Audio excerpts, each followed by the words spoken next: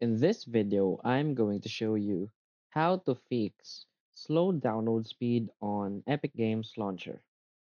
So please watch the video until the end and follow this tutorial step by step to avoid making mistakes.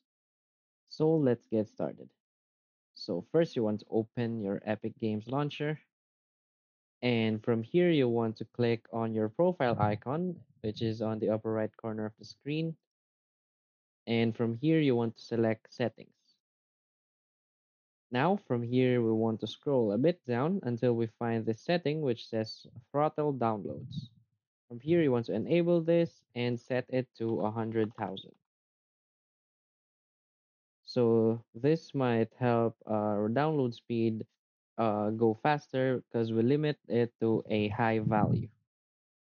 So after that, you just want to go back.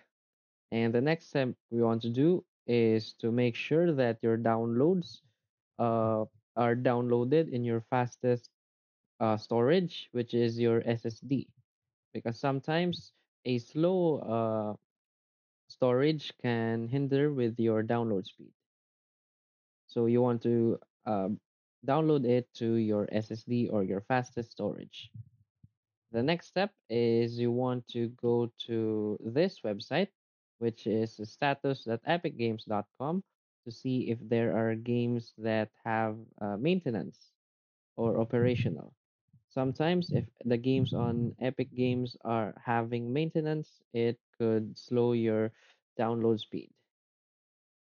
And lastly, make sure that you're not using any VPN because it may hinder all of your download speeds. And you can also use an Ethernet connection to make your download speed more faster. So that's it. If you find this video helpful, please hit like and subscribe. Thanks.